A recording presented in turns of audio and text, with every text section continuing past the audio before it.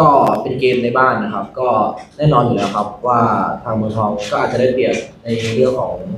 ความเออเคยชินความคุ้นเคยของสนามครับ แล้วก็ด้วยสภาพอากาศนะครับ ทางญี่ปุ่นตอนนี้ก็อาจจะเออมีอากาศที่ค่อนข้างเย็นครับ ส่วนทางส่วนประเทศไทยก็อาจจะร้อนหน่อยครับ มันก็ทำให้หลาย ๆ อย่างสภาพอากาศไม่ว่าสภาพสนาม แล้วก็ความคุ้นชินของของเรานักเตะเมืองทองก็อาจจะได้เปรียบในส่วนตรงนี้ครับ